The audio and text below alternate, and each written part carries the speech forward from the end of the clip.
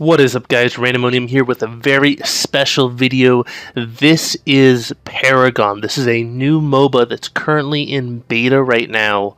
Uh, and I have access to it, so I'm going to be showing off some of uh, gameplay from Paragon. Uh, you can see that they've got, you know, profile, they've got a built-in replay system, they've got a store, all the things you would expect from a normal MOBA.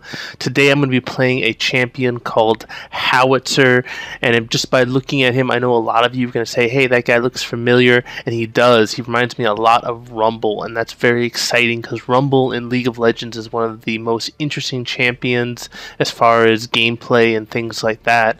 Uh, and I think you'll see something that's also also very interesting about Howitzer. I know a lot of people were very disappointed when Graves had his cigar removed from League of Legends, and I'm happy to report that uh, that cigar was actually purchased by Epic Games, and it's now been given to Howitzer. So Graves' cigar is with Howitzer now. So I think you guys will really enjoy that. But Howitzer. Um, while he looks like Rumble, he doesn't play like him. He plays a lot more like Ziggs as far as play style. So um, his passive is actually very similar to Katarina, where kills or assists reduce his cooldowns. He's got a um, just normal auto attack. His right mouse click button is a slow grenade, very similar to Ziggs' W. Uh, he's got a spammable Q, which is a rocket.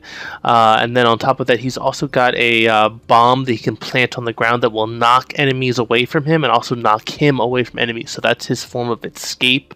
And his ultimate is just a really fantastic ability that launches him up in the air and rains down like a ton of damage and AoE effect. It's basically a humongous uh, AoE damaging ability, and it also allows him to reposition uh, and get away from melee champions that are trying to hurt him because it launches him into the air. So he's a really fun champion to play. He's very rewarding, um, and I'm hoping to show off some of this gameplay. Right now, we're in matchmaking. And right now in um, Paragon. The only form of matchmaking is kind of a blind draft. I uh, I predict that they're going to have some sort of a, a, draft pick instead in the future because that's really kind of the hallmark of a competitive MOBA is you actually have a drafting phase rather than just a, a blind pick where it's just kind of random and chance what your team comp is. So um, but right now, yeah, they've only got blind pick, and uh, matchmaking takes a couple minutes. It is the beta, but it's really not that bad. So I think one of the things that people are going to notice most about this game is the graphics. The graphics are amazing. I've actually only got the graphics on like medium to medium low settings because my system cannot handle it, but it looks phenomenal. It looks absolutely amazing. It's definitely um, the most realistic MOBA on the market right now. Uh, one of the really cool things about the map is that it, takes into effect a lot of elevation. Elevation plays a huge role in the map. There's all sorts of um, valleys and uh, hills that you can kind of control territory with, and that's very important uh, that you control the high ground and that you use flanking opportunities. Roaming and flanking is just a huge deal in this game because the viewpoint is not a traditional kind of top down view of your champion, it's kind of an over the shoulder third person kind of view like you would see from a Smite game. So uh, it's a lot easier to flank people. It's a lot easier to gank people. Uh, so rotations are a lot more powerful, and um, yeah, it's it's a really really fun game. We're going into the loading screen right now. You can see that your basic attack is to your your left mouse button. You've got an alternate ability that's attached to your right mouse button, and then your Q, E, and R are your other abilities. And you use your normal W, A, S, D movement keys like you would for Smite or like a first person shooter. But the game really feels more like a MOBA. It doesn't feel like a first person shooter and um, the entire system as far as items and things like that it's on what's called like a card system. There are three different types of cards. There's a prime card there's equipment cards and there's upgrade cards. And uh, these basically function the equipment cards function like items. Uh, the prime card is something that you only use when you kill kind of the baron Nashor of the game kind of the, the major boss of the game. And then your upgrade cards kind of function like runes and magic masteries. They're kind of a very customizable aspect of the game, and they're something that you have to unlock as you progress. So uh, you gain um, points that you can use to open card packs, and these card packs are randomized, so you have to collect the cards that you want um, to make the deck that you want, to get the um, kind of the items that you want, and things like that. So, uh, yep, I'm playing Rumble correction, I'm playing Howitzer. He reminds me so much of Rumble. You can see when you push control, it pulls up all of his abilities. You can unlock your first ability at level 1. I'm going to be unlocking his rocket ability, which is his Q. And uh, I'm going to talk a little bit about the game a little bit more, but then I'm just going to be silent uh, and let you guys just kind of watch the gameplay um, and just see what it's like. Because I didn't play very well in this game. I'm definitely not that experienced with the game yet. I've only played like five or ten games. Um, but it was a pretty fun game. You get to see a lot of really cool abilities utilized. Uh, we do wind up taking um, the prime. Uh, what's it called? The prime boss, basically the Baron Nashor of the game, uh, which is a very cool kind of thing. Instead of automatically getting a buff. Once you kill the final boss, you have to take it to a location in order to get the benefit of the buff, um, which is very, very cool. So we can see in the laning phase right now, I'm going up against a champion called Gideon, uh, who's kind of a very powerful mage character. I'm playing in mid lane right now, and um, Gideon is another really cool champ that I want to do in the future. He's got a lot of um, mobility base powers, and he's also got um, a ton of damage. He does a lot of damage, as you guys will see in the future. But typical laning phase, as you would expect, the goal is to kind of last hit minions, and that gives you um, card experience, which allows you to upgrade your cards, upgrade your items. Um, and it's just a very traditional MOBA in the fact that every time you level up, you get a new ability. You can level up your abilities. I believe at level 5, that's when you can unlock your ultimate. But uh, yeah, I think that's about it as far as just like the basics. It's just a standard three lanes that you like you would expect. They've got outer towers, inner towers, and inhibitor towers. Uh, when you destroy the inhibitors, um, you spawn super minions like you would expect and uh, the goal, of course, is to destroy their nexus. I don't, I forget what they they don't call it a nexus. I think they call it a core. Um, but yeah, it's it's it's basically the standard MOBA that we all know and love, uh, with the three lanes, five players per team. It's just very beautiful to look at. It's just a really crisp, clean game. The champions are really well thought out. Uh, and it's really fun to play. It's a very rewarding game, especially when you use your ultimate abilities. They just look incredibly cool. They feel awesome. It's it's amazing. It's a really fun game. I highly encourage you guys all check it out. They have um, an early access beta that you guys can take a look at. Um, it costs a little bit of money to get into it, and there's different. Uh, levels, but anything you unlock in the beta will carry over when the game actually releases. So um, that's kind of a, a, nice little perk. It kind of gives you a, a head start over your competition. So yeah, I got ganked. I wound up dying. Uh, and that just shows you kind of the power of ganks. Is that I wasn't even aware that they came out of nowhere. Um, just because you don't really get to see that top-down view because you can't really see people who are coming from behind you until it's too late unless you plant wards. But yeah, I'm gonna kind of stop now, stop talking, let you guys watch this gameplay. It's it's so much fun, uh, and I hope you guys all check it out. It's a really great game, and it's only in beta. It's only gonna get better in the future. So I uh, hope you guys enjoy this video, uh, and I'll just let you guys watch it from here on out.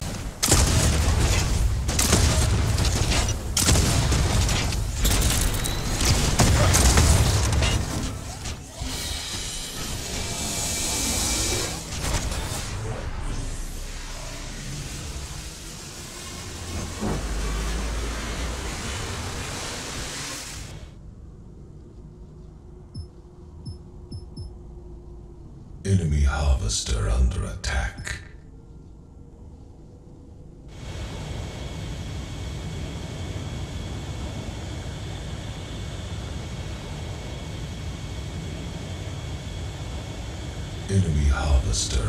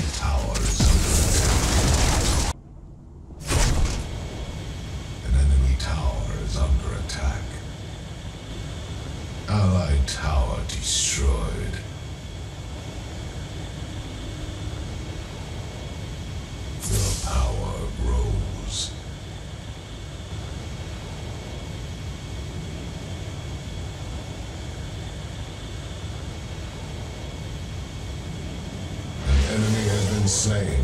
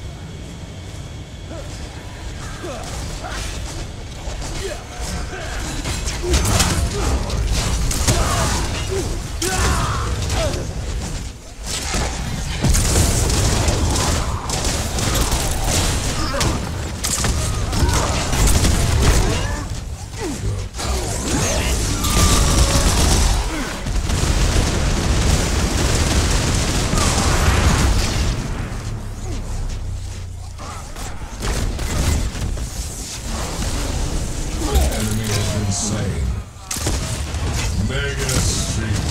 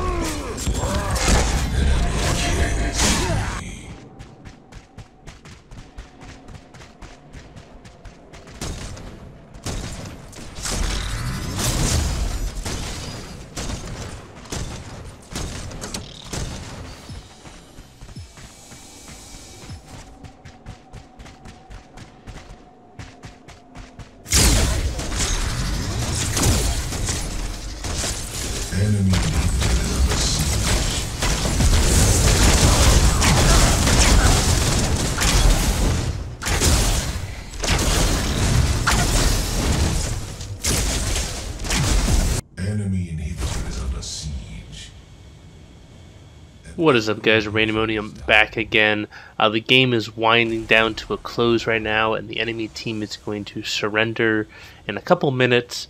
Um, kind of anticlimactically, but um, yeah, we wound up winning that game pretty easily. Uh, our rampage just carried the game very hard. I wound up going three, five, and nine, which is not fantastic. Uh, I did have the highest CS in the game. That was what I really wanted to focus on this game was CSing to the best of my ability because it's it's very challenging to actually CS with uh, only skill shot based abilities. Um, but yeah, I hope you guys enjoyed this video. I hope you guys get to see like how much fun this game is. It's just it's really rewarding when you use your abilities. It's really rewarding when you get kills and when you set up ganks. It's just a really fun game, a very beautiful game. Uh, and I'm, I'm really looking forward to seeing what they do from the competitive aspect. I want to make sure that they have a, you know like a draft pick. Uh, they have a strong competitive scene. They've got a good rank system. These are all things that they don't have yet in the game that I'm looking forward to in the near future. But uh, if you guys enjoyed this video, please give it a thumbs up.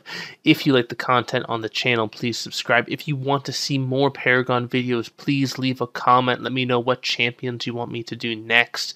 There's uh, quite a few champions in Paragon right now, and they're going to be adding more and more as the weeks progress. So let me know which champions you want to see. Let me know what you want, uh, what questions you have about the game, and I'll be happy to answer them.